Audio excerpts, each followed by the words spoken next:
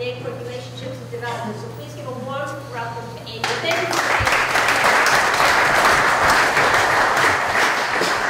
Thank you all for having me today. I'm sorry I don't have any pretty slides, but I think you know what we look like right down the street.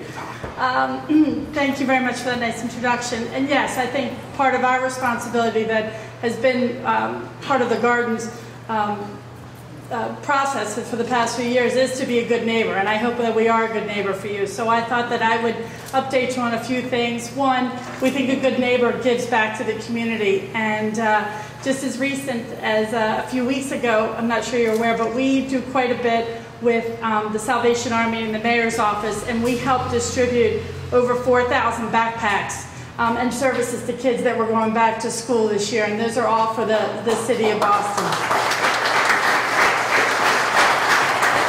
I have probably one of my favorite events um, because these kids come into the building and we lower the banners and they get to shoot on the hoop where the Celtics play and they get to shoot on the net where the Bruins get to play and their eyes are so big. And you know what? We said that we're a, a building of champions and we're trying to send them back to school and feel like they're champions as well. And you know how important it is to get everybody to feel good about going back to school. It's it's not easy i'm trying to shoot my kids off this week so um, that's that's a good program for us we've also continued to do the table of friends um, in November where we feed about 900 to 1,000 of Boston's homeless. They come down on the floor and uh, they um, or get a Thanksgiving meal. And interestingly enough, it's kind of nice because they are um, fed most of the time by either alumni and, and local sports celebrities and, and ownership. I mean, you can get mashed potatoes from Cam Neely and you get out a little bit and Jackie MacMullan is giving out vegetables. It's a really nice event for us. It has grown.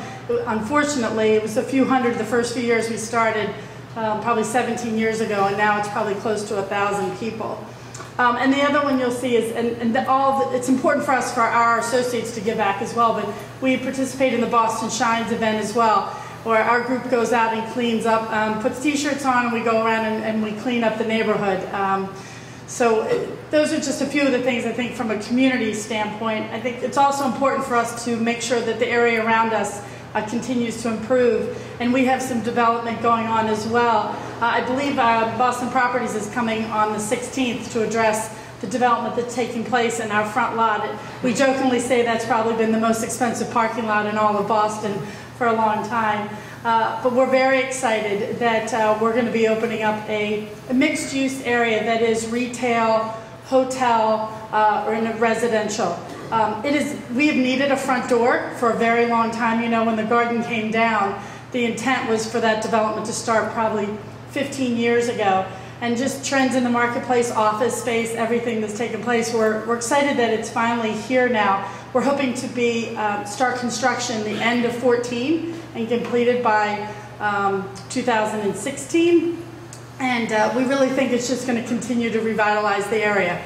I know the supermarket is a is a big topic. Please know that I that's something that um, the group is working on. Boston Properties will will talk a little bit more about it when they come into the neighborhood um, in a couple of weeks as well. But we're very excited about it. We need a new front door. It helps with the commuters. We think it'll help um, with the businesses in the area and just you know it'll make it even more vibrant than it is today. Uh, I also, um, if you've noticed that there's some construction that's going on, we've taken over the lease of the North Station Garage. It's a 75-year lease. Uh, we've worked hard to make improvements to the garage. It needed um, a lot of uh, TLC from a capital standpoint in making it safe for, the, for our patrons, but also um, we are opening up a ramp on the, on the one side of the building that's closest um, to the highway because we needed the, the traffic relief coming out the other side was quite a bit and it was always built that way um, there was always that spot to, to create that exit, that, that exit, and it had not been developed. So if you walk by now, you'll see a little bit of that taking place. We think that's going to help with the traffic um, that is coming out and going right South Shore versus what's going north on 93 out the other side.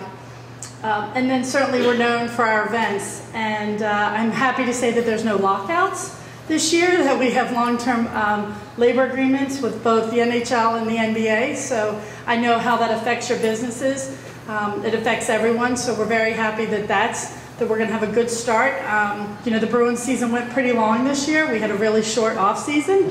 I can't believe it starts next week with training camp.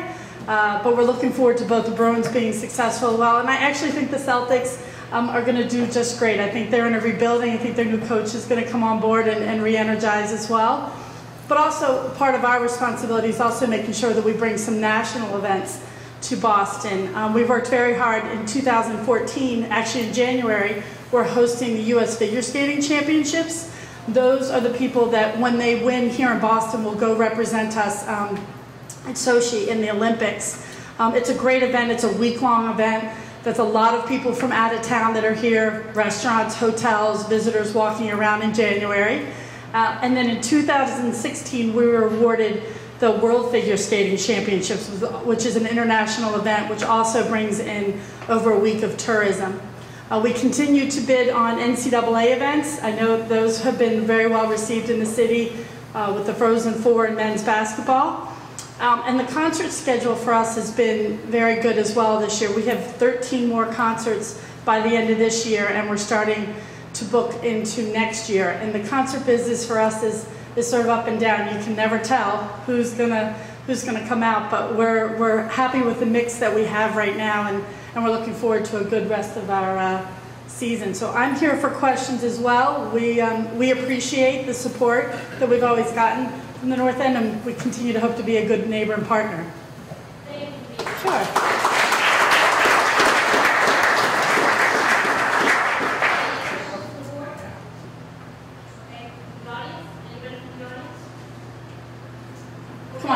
asked me for tickets. I've never left a room without somebody else.